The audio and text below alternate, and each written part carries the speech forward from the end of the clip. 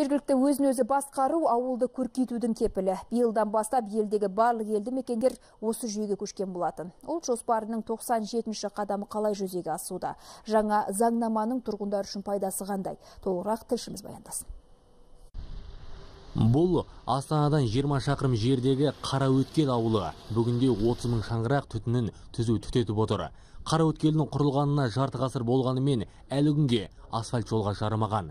Басты себеп қаржының қолбайлау болуы. Жергілікті өзін өзі басқару жүйесіне көшкелі әкімдіктің дербес бюджеті жиналатын есепшот ашылды. Ауыл әкімдеріне жерді мақсатсыз пайдаланатындарға, заңсыз иемденгендерге айыппұл салу құқығы берілді.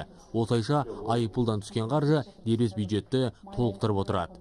қолма қол ақшаны бақылау есепшоттар ашылып содан кейін жаңағы барлық осындағы салық түсімдері төрт түрлі болған енді қазір алты түрлі мынау табыс салығы дейміз жер салығы мүлік салығы содан кейін жаңағы көлік салығы дейміз одан кейін жаңа заңды тұлғалардың жерінің к- көлігінің салығы дейді осылардан түсетін салық түрлерінің барлығысы жергілікті ә,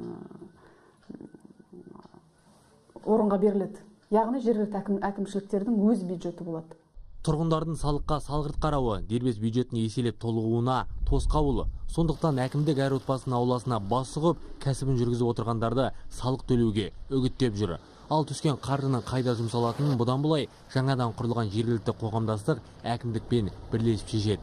Яғни тұрғындарға да тең құқық беріліп отыр. мектептің жанына жарық орнату мәселесі осы ол шамалы шаруа оны мысалы бюджеттен қарап оны бағдарлама кіргізе алмайды ал ондай жаңағыдай азды кемді шаруаның барлығын әкімшілік өз мойнына алып өзінің қаражаты болып соны істетсе ол құптағып ол керек нәрсе де үй дұрыс нәрсе Ауылдық округ әкімдеріне кіріс кіргізу құқығы да берілді. Олар әкімшілік қарауындағы мүлікті жалға беру, қайырымдылық салымдары, сыртқы жарнаманы орналастыру үшін ақы алу арқылы қаржы тартады. Бұл қадамның барлығы жергілікті биліктің қызмет сапасын көтеруге, ауыл халқының тұрмысын жақсартуға серпін болмақ. 100 қадам аясындағы 97-98 қадамдардың ә, іске асыру бойынша министрлік өз тарапынан былтыр бірқатар істе- істер атқарылған болатын. Соның бірі ә, тиісті жергілікті өзін басқару ісі заң нормаларына өзгерістер енгізілген болатын. Енді әкімнің қазіргі міндеті осы заң аясындағы жергілікті қоғамдастықтың жиналысына берген өкілетті- өкілеттіктерді іске асыру керек. Яғни халықты осы істерге араластыру керек. Қара өткелдің қараусыз қалған жолына оралсақ. Жоспар бойынша дербес бюджетке осы жылы 7 миллион теңге түсуі тиіс. Ол қаржыға бір көшеге асфальт жүргізіледі деп жоспарланып отыр.